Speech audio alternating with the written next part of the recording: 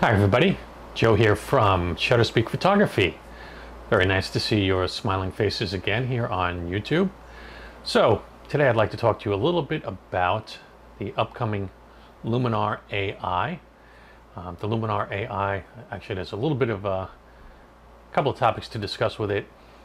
It isn't exactly a upgrade to Luminar 4. It's not exactly a replacement either, and I'll, I'll step you through that and what exactly Luminar AI is and what it means for Luminar 4. But before we dive right into that, I'd just like to ask you if anything in this video does help you out or helps you make a good purchase decision, which by the way, I think it's going to, please do me a favor and hit the subscribe button. Also hit the like button and feel free to leave me a comment. And when you hit that subscribe button, please ring the bell so that you get notified of future updates on this channel. Thanks, I appreciate it. And best of all, it's free of charge. So, that being said, let's talk a little bit about Luminar AI. So, Luminar AI is coming out in December. When Luminar, Luminar AI hits the streets in December, Luminar 4 will be just about a year old, maybe a little bit over just about a year old at that point. So, what is Luminar AI? Well, in terms of how it plays in the ecosystem of Luminar products, Luminar AI is the next evolution. Okay, so it's not an upgrade to Luminar 4. So, for example, it cannot, as of right now, and this is subject to change because this product isn't even in beta yet, but as of right now, we cannot update your Luminar 4 catalog into Luminar AI. Okay, so it's not an upgrade, it's more of a replacement. That being said, Luminar 4 can stay installed on your system and remain and work separately from Luminar AI, but they are two separate products. So, again, that being said, what happens then to Luminar 4? So, Luminar 4 is going to be around uh, for about another year in terms of updates um, and maintenance. There may be a few minor feature releases, things that are already in the works that just need some finishing up. However, you're not going to see another major upgrade to Luminar 4. It is effectively being replaced by Luminar AI. Now, you're probably wondering, well, why can't I just take my Luminar 4 catalog and upgrade it into Luminar AI? Well, they're a functionally different code base. It's a whole new way of um, engineering for Skylum. And this this product is totally rewritten from the ground up. And there are things in 4 that don't really translate to AI and vice versa. So as of now there is no easy upgrade path to take that catalog and bring it into AI however you can have a Luminar 4 catalog and you can have a Luminar AI catalog. They can both look at the same images and they will interact with each other and everything will play fine. Uh, changes you make in 4 aren't going to appear in AI, but it's not going to damage anything in AI either. So uh, in terms of that, uh, that, that is something to consider. Now, I know that there is a lot of talk on the internet and forums and things like that of people being upset about this, but let's face it, um, in terms of pricing, most people probably got Luminar 4 in around the $69 range or so.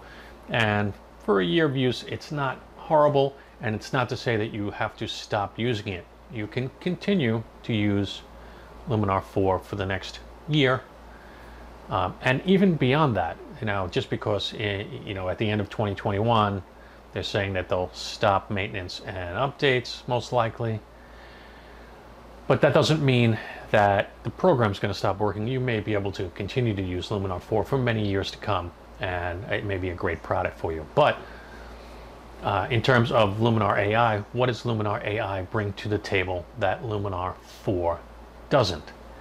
Well, in terms of AI, what Luminar and Skylum have done, what Skylum has done, is they've interviewed a bunch of different photographers and gotten their opinions on how they would process particular images, landscape images, portrait images, etc. and they said, hey, what would you do with this image? And they programmed this into an AI, and when the AI takes a look at your image, it's going to make suggestions based on what these pros would have recommended for you know a, a, reference pool of sample images that are similar to your image and you'll get essentially a, a suggestion if you will and, and various templates that you could go through that will make suggestions on how to edit your image. And if you like one of them you would just really just have to click it and you could pretty much be done. But if you didn't like it or you wanted to tweak it you have the option then to go in and edit it and change certain aspects of it and then export it. So it's really trying to take the job of making the edits to your photos a lot faster. Now, what does this really mean in terms of photography? That's a whole different discussion that we could have uh, in terms of, you know, has this now been the next step where the computer removes the creativity from photography? Well, again, that, that's a conversation to have for a different day. And, and quite honestly, I'd love to hear your thoughts on that. So let me know in the comments if this is something that would interest you or if you think that this is at this point giving the computer too much control over creativity and removing it from the photographer. But that being said, again, they're just suggestions. You can apply templates. Uh, you can edit the looks of these templates, add various elements, and, and create your own image. But it's going to make the process of getting there a lot faster. And it's designed to give you inspiration. Um, there is a 30-day money-back guarantee on this, so that's nice. Um, there will be, um, there, or at least they're predicting that there's going to be some export functions to Aurora. So that's a nice thing to have so that you will be able to perhaps take images, send them to Aurora, process them to Aurora, and then bring them back into Luminar AI and work on them from there. That would be welcome. But no major updates coming to Aurora. That's another thing that that has come out of uh, meetings on AI and uh, with uh, people like uh, myself and other um, content creators who you know give you insight here on YouTube and other places. So um, first 30,000 users, there's going to be some introductory in, introductory pricing. Okay, it's uh, essentially $69. You're going to save $10 uh, by ordering it early. So again, that's limited to the first 30,000 users, users. But additionally, you can save another $10 and get this product at $59 if you only need one, what they're calling seat. Now, what's a seat? Let's say you have a computer, like a desktop, and you have a laptop. Most software packages like Adobe Lightroom and Photoshop allow you two installations. One typically would be used on your desktop, one would typically be used on your laptop. Only one can be used at a time, not two at the same time. However, you would get two installations. So if you only have one computer, let's say you only have a laptop and you don't have a desktop, and you only need one installation, you can save $10 and get the product at $59. If you need two, like myself, well then it's going to be the regular price of $69. Okay, so they're saving you 10 if you only have one PC or Mac that you're working with. Um, so let's see what else. Uh, all right, so again, the, uh, the AI just makes suggestions. Like for example, if you were cropping, upon release, the uh, AI is going to make cropping suggestions based on your original aspect ratio, and it'll give you ideas of how you can creatively crop an image to make it better. Again, the suggestions, you can do whatever you want, but there will be those suggestions there. And then in the future, um, there are plans for them to have other aspect ratios. Uh, so, you know, regardless of what aspect ratio you're cropping at, there should be suggestions. Um, also, uh, additionally, it's going to be a left to right functionality. So you'll have your catalog up top, from your catalog. You'll go to your catalog. Theoretically, this is a typical workflow, I guess, how they envision things working. You go to your catalog, pick your image. Uh, the next thing is going to be the template section where you'll get different ideas on what look you can apply to your image. Uh, from there, the next module over would be your editing module, where then you can go in and fine tune the product, and then from there, your publishing module where you would export the final product. Um, there is a lot of uh, emphasis here on uh, also uh, speed to workflow. So batch processing is something they've thought a, a lot about. There's uh, now some uh, body touch-up uh, plugins as well to the portrait touch-up section. So so that's been added in as well. And then of course we also have the Luminar X program.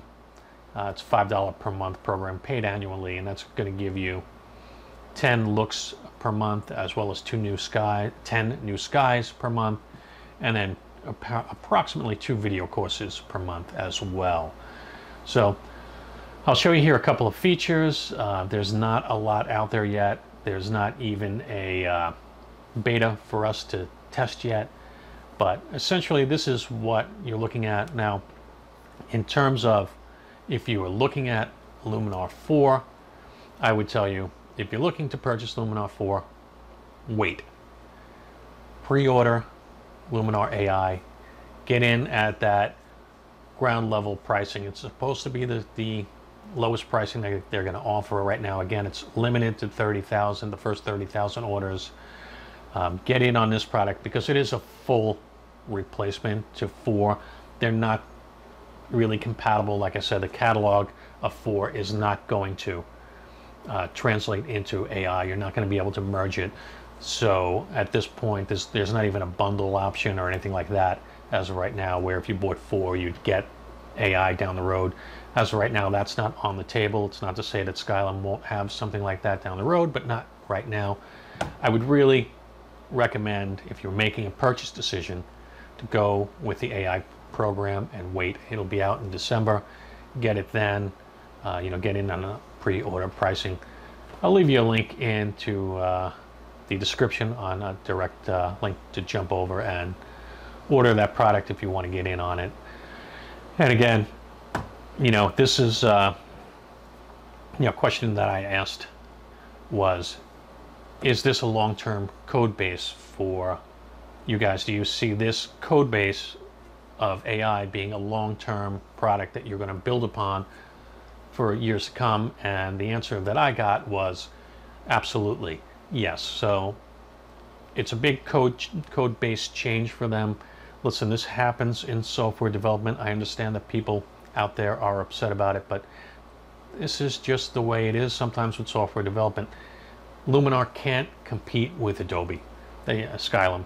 Uh, I'm sorry, Luminar, the product, Skylum is the company. Skylum can't compete head to head with Adobe. There's just too much money, resources, and and to go try and go feature to feature doesn't make sense. And those features are already there. So you already have Photoshop and all the features that are built into Photoshop. You already have Lightroom and all the features that are built into Lightroom. I really think a great workflow here is to go from Lightroom into a product like Luminar 4 or down the road shortly Luminar AI where you'll do some creative stuff and um, you know if you need to get images out the door quickly this is going to be a great place. You know like like for myself just I'll give you an example of, of where when this paid off for me. I had done a job for an aviation company that was selling an airplane. So I had to photograph the airplane wasn't a tremendous amount of pictures maybe you know 40 pictures of an airplane but it was just horrifically overcast it had been raining for a week before, it rained for days after. We got this in, in between, but the sky just looked dreary. And they said, hey, what can you do? Well, what I could do was, I could take that into Luminar 4, those 35, 40 images, batch sky replacement, put a brand new bright blue sky with some puffy clouds in them, send them off to the company, and they were happy as can be. So in terms of getting work done quickly, Luminar is fantastic. But if you want to sit in Luminar and just edit and tweak and refine and spend hours in there being creative on an image, you can do that too. And, and that's the, the really great products. So what they're focusing on is being one thing, being that platform that can get stuff out the door quickly or being the platform that you can sit in and just be creative and make something new that you never expected. Have fun exploring the different tools that are fun and easy to use, you know, without the frustration of masking and things like that that go into uh, Photoshop. And I believe the stat that they threw out is that the average Photoshop user has about 16 years of experience with Photoshop, whereas somebody with Luminar can really jump right in pretty quickly and get the hang of it and, and do sky replacement in minutes and, and just have fun with things. Or you can really fine tune stuff with, you know, uh, color and structure and things like that and just, just have fun. So they're different products. Photoshop, Lightroom, Luminar, they're different products. Luminar is going for this specialty platform of being just uh, the platform that, that can be creative and give you wild ideas that, that you didn't think of uh, without having uh, mastery of Photoshop. So there you have it. I'll leave you a link. Let me know in the comments what you think about AI taking over the future of photo editing. Thanks for watching. If anything helps you out, and I hope it did in terms of making a good purchase decision, please, once again, hit the subscribe button, hit like, Leave me a comment about AI. We know how that worked on uh, Battlestar Galactica, didn't we? robots took over. And let's not even get into whole that whole Terminator thing. That didn't end well either, did it? But hey, anyway, thanks for watching YouTube. See you soon. Bye-bye.